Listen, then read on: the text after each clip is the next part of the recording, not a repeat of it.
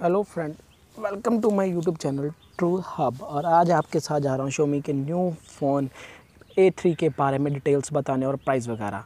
तो स्टार्ट करते हैं। इसका जो प्राइस की बात करें तो ये अंडर ट्वेंटी थाउज़ेंड के आएगा, जो कि अच्छा प्राइस है इस फ़ोन के लिए। और इसकी बात करें डिस्प्ले साइज़ की, जो सिक्स इंच की डिस्प्ले है और फुल एचडी है। और revolution one zero eight zero into two hundred के साथ में है। और इसके जो कॉर्नर एजेस वगैरह हैं, बहुत उनके फ़ाइन क्वालिटी के साथ बनाया गया है। और बात करें इसके कैमरे की तो इसमें थ्री कैमरे दिए गए हैं, जो रेयर कैमरा है 40 प्लस 16 प्लस 18 एम का है, और विद फ्लैश लाइट और फ्रंट की बात करें तो इसमें भी दो कैमरे लगे हैं 24 एंड 8 एम का, जो विद फ्लैश लाइट के दिया गया है। और उसमें दो रैम दो हार्ड डिस्क है, जैसे कि बात किया जाए तो एक सिक्स जी बी रैम और वन एट्टी और एट जी बी रैम और two fifty six G B इसकी स्टोरेज है।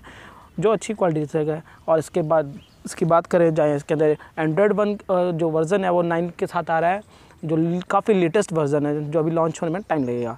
और इसके बाद, इसकी बात की जाए तो जो क्वालिटीज़ वगैरह की जो फाइन क्वालिटी फिंगरप्रिंट सेंसर और 5G नेटवर्क के साथ आ रहा है, जो अभी इंडिया में मे भी नहीं लॉन्च हुआ है इन फ्यूचर ये लॉन्च हो जाएगा। तो ये बहुत अच्छी क्वालिटीज़ के साथ आ रहा है और इसमें ग्राफिक्स वगैरह भी दिए गए हैं, और जो अच्छी क्वालिटी के साथ आपको दिया जाए Thanks for watching this video. Like and subscribe.